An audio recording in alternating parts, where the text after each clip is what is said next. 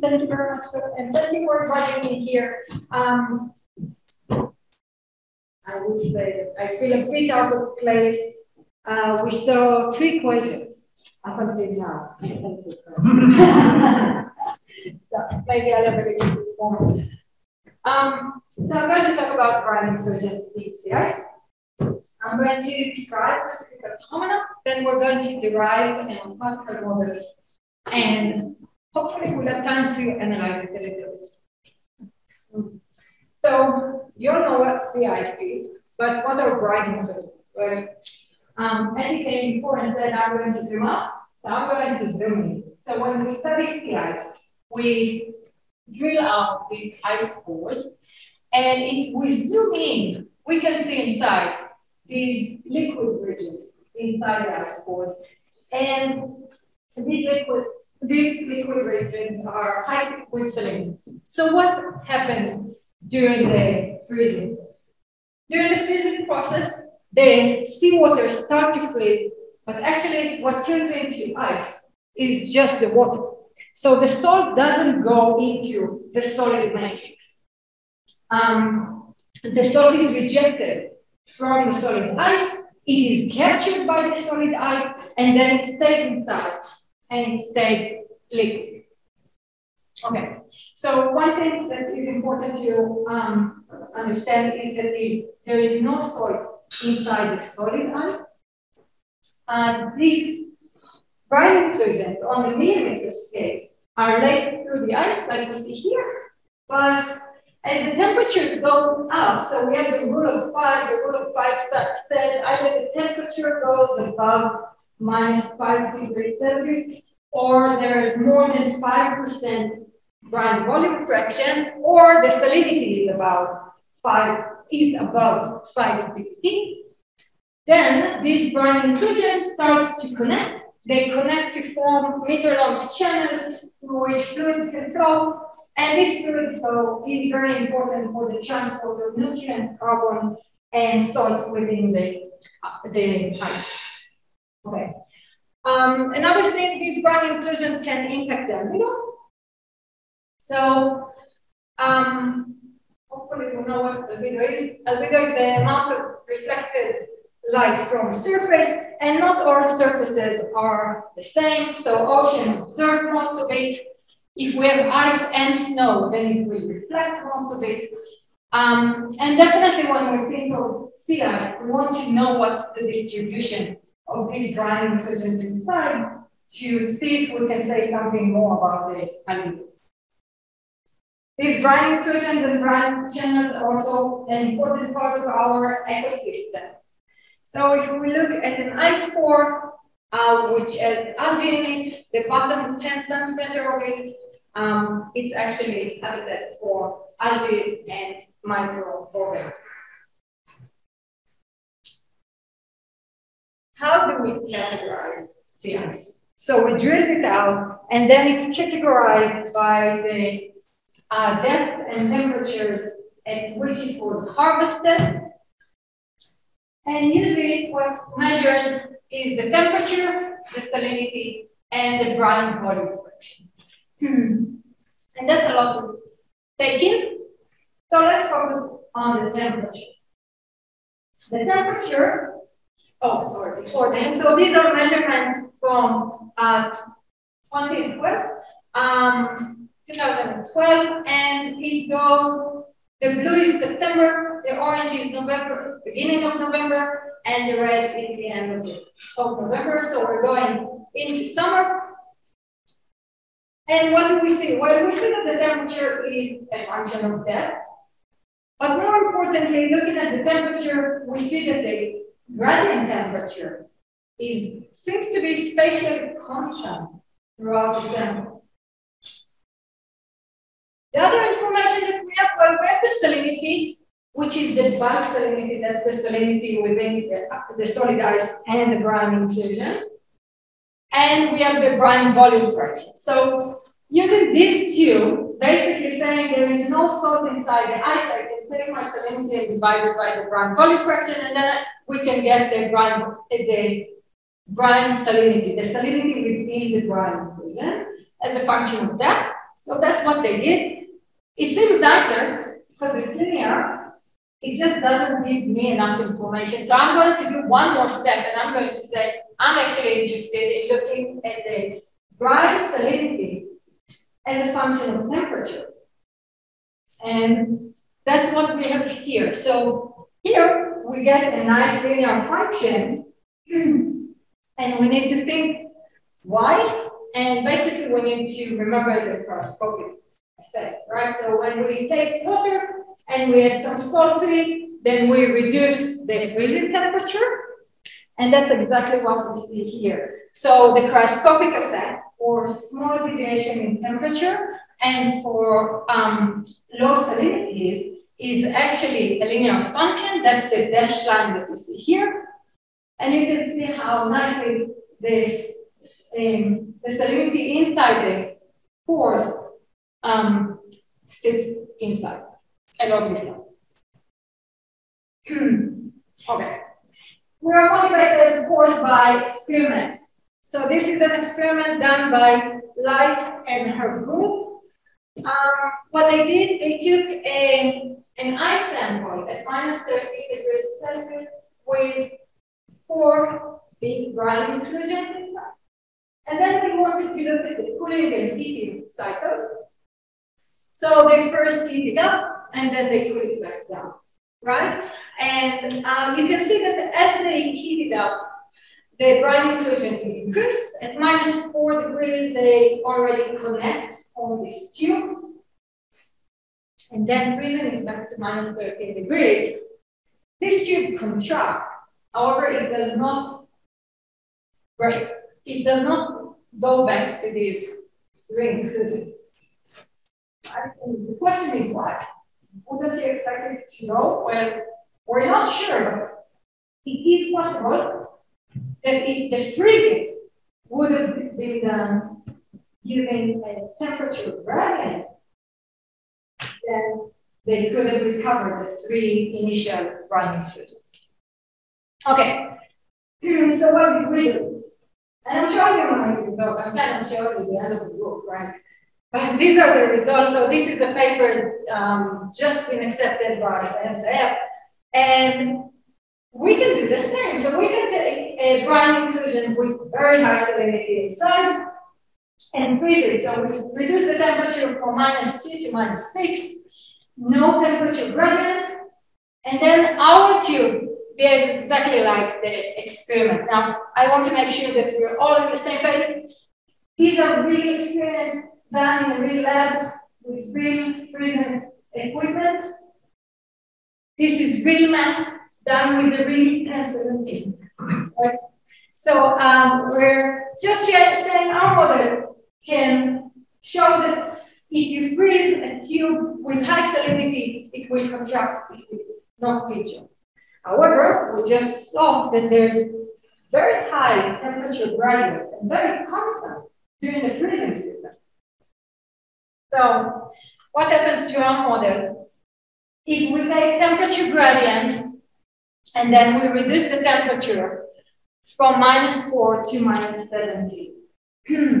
so um, in this case, we started with the same tube, just as we did before, high salinity in the middle, and then very quickly it pinch off relatively in the middle.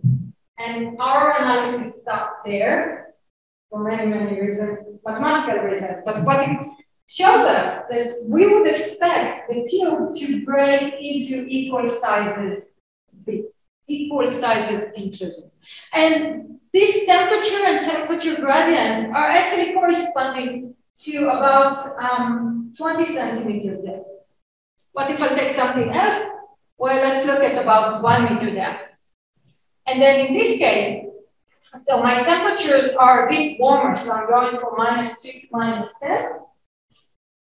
And it doesn't pitch in the middle anymore. It looks like it's going to pitch up at, at the top. And if I go down into um, even warmer temperatures, then I'm actually moving the pitch of point, the expected pitch of to the top. okay, so that's what we want to show. Now we want to derive a mathematical model to do that. So um, what do I want to do? So let's make sure that we know that. So I, I basically want to take a piece of ice. Oh, no, it's like that for a. A piece of ice with one brine inclusion in it and see what happens to it. Okay, so I'm going to have three parameters, and I'm going to use the phase parameter, which will tell me if it's liquid or um, solid, zero for solid, one for liquid, and it's continuous. We'll have the temperature, and we'll have the salt. These are my three parameters. And in 1990, Penrose Fife introduced um, several models to describe the entropy of temperature-dependent phase change. So we're going to use the simplest model because even the simplest one is already more. Um, in the simplest model, they basically say that the entropy density is the integral, um, I'm sorry, that the entropy of the system is a spatial integral of the entropy density, and the entropy density takes this form. And what is this form? Well, let's start with this one. We have a potential, that's a double well potential um, in the system. We have this grad term. So is our phase parameter, water or um, ice, liquid or, or solid. And this term actually penalizes surface area. Because we're looking at the entropy.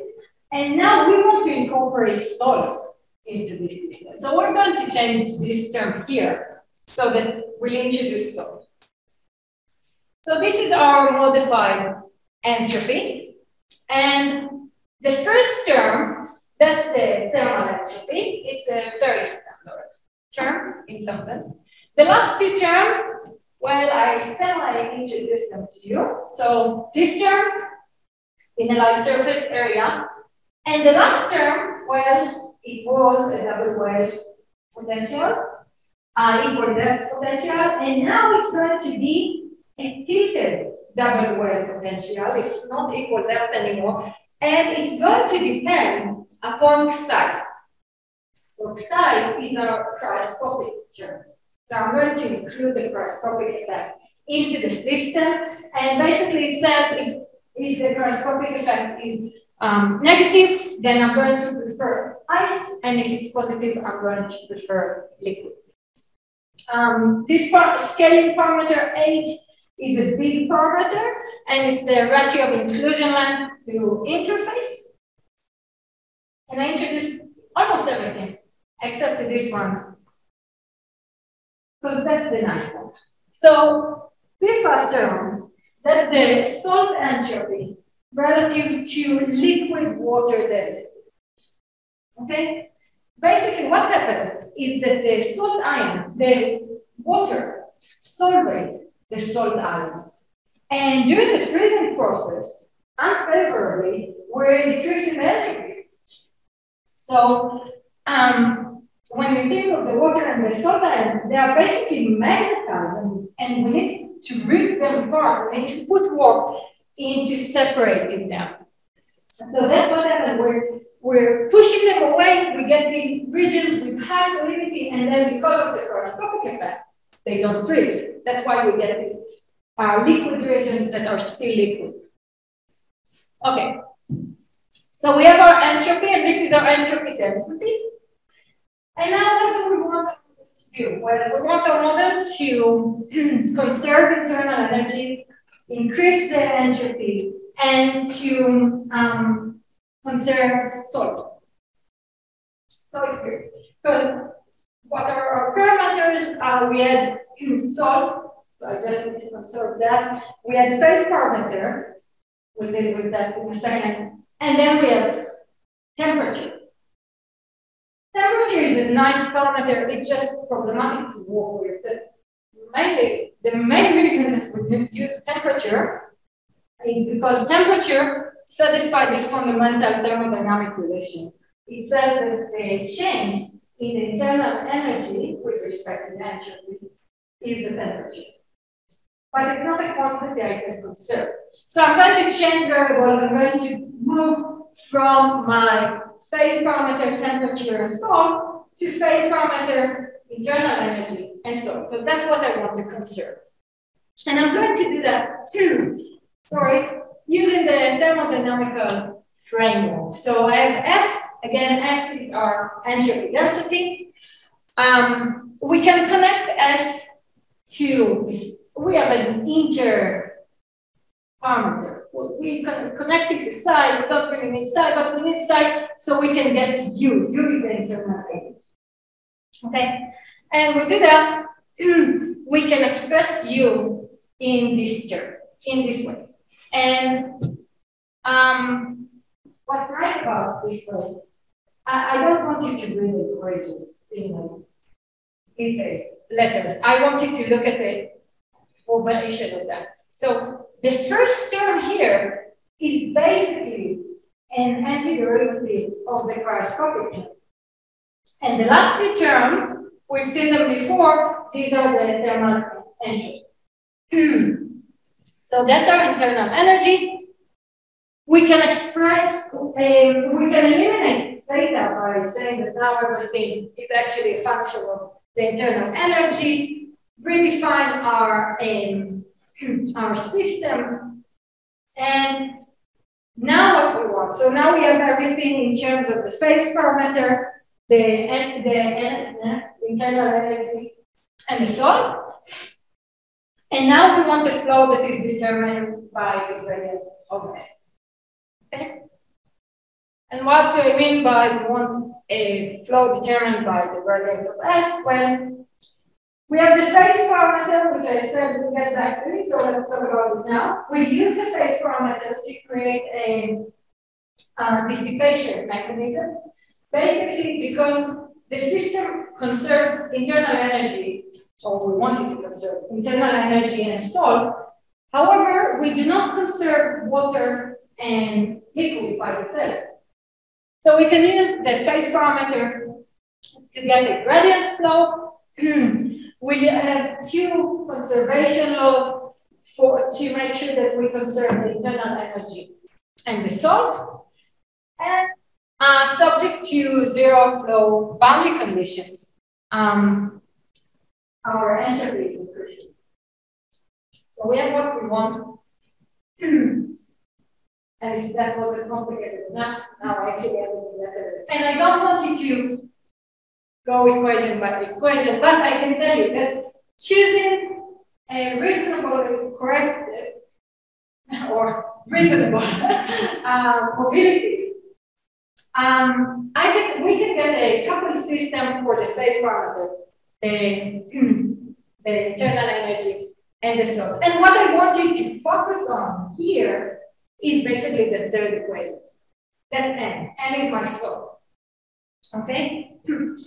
And I want you to look at this equation because the salt is the interesting part of the system. And what do I mean by that? Well, what happens? So we have the ice, and again, a block of ice, one ice, one dry inclusion inside with high salinity, and then I'm freezing it. So I'm basically pushing the salt inside. So I'm pushing the salt into a region with high salinity. So I'm pushing the salt up its concentration gradient. That's exactly the definition of the chemotaxis process. Okay, so uh, we have this salt that is going up its uh, concentration gradient. And in the 70s, Keller and Segel introduced a model to describe chemotaxis processes. And it's very similar to ours. Um, what, what in their model is U, which is um, some scalar, and V is a, uh, chemical attractor. And it's very similar to ours, especially here. So this function is called the sensitivity function in their model, and we have it here. And the, the two um, red ones are this uh, function that couples, in our case, the phase parameter and the this.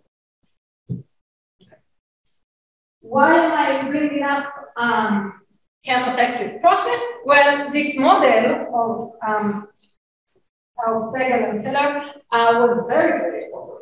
It became very, very popular basically because it was relatively tractable and they, they captured nice patterns in it. So they could see traveling waves and they could see um, peaks inside the population that expands. And um, everyone started using it. It has its downside, so there's no global existence of solution. More importantly, there's no maximum principle, which basically means that we have to work much, much harder to achieve everything um, that we want with the system. Now, to make our systems even a bit more challenging, then we have this fifth. We also have singularity because on the ice, the phase parameter is zero. So we have to be a little bit careful. Okay, so we have our model. Let's see what I can say on this model. So after changing parameters, remember we started phase parameter, temperature, and um, so, but then I said temperature, well, temperature, let's go to the internal energy. Oh, well, let's go back to temperature. I like to work with the temperature in my model. So we want to, to introduce new coordinates. We basically want to go back to the temperature. We rewrite m salt as a function of phi, the phase parameter, and rho, where we take rho to be the salt density relative to liquid water density. Now, I'm not changing my system at this point. I'm just recasting it. And doing it in this way just allows me to write my potential um, as a equal that W potential as a water plus operation. Okay, and why that less? Well, because then I get a couple system for the phase parameter, the temperature, and the salt, which is what I wanted at the beginning. And that's the simplest form that we could come up with. Okay. So what do we do next? So we're um, basically using the classical um, sharp interface scaling. The multi-scale analysis shows that we get a Stefan type problem. Whoever is doing phase, um, phase change, you've probably heard about Stefan type problems before. Um, what do we get? We have the um, temperature, and the temperature is continuous throughout the domain. The temperature doesn't care if it's ice or liquid, which makes sense.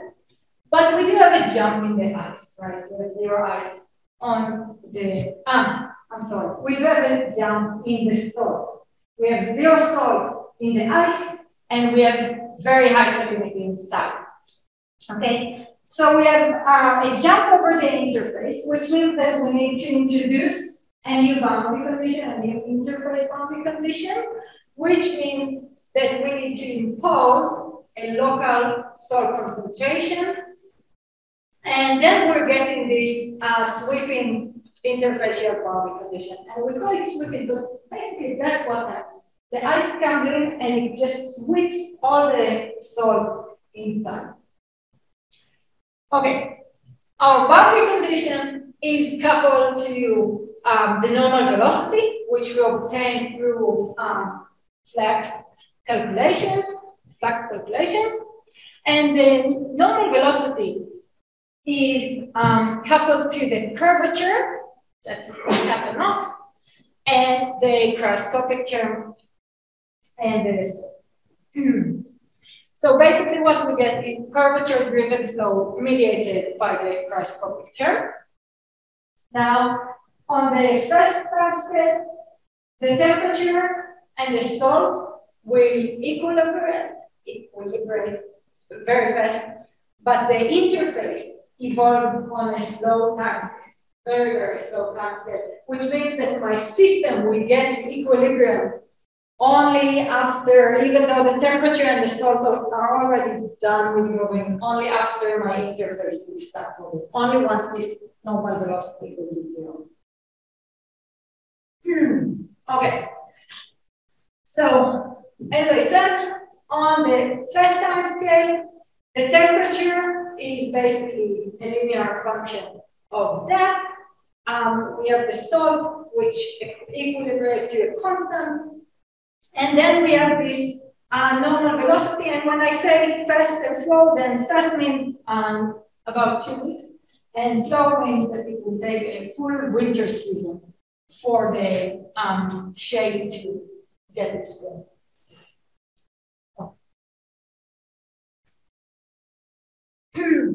so what can I do? Well, the first thing that the easiest, I showed you tubes. I showed you tubes before, and the reason I showed you tubes is because saying, oh, only ground inclusion.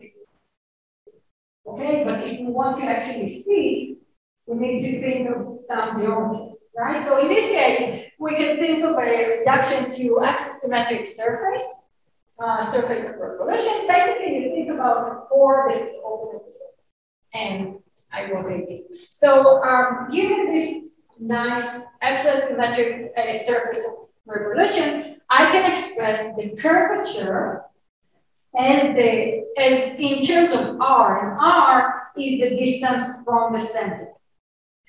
Okay, um, I'm saying okay. I have no question.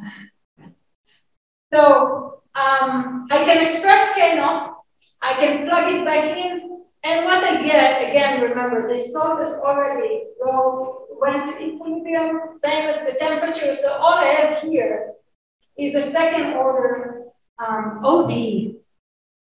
And I don't know, if there's anything that you need to know about math, is that we always want to get an ODE. We know how to solve it. so we can solve the ODE.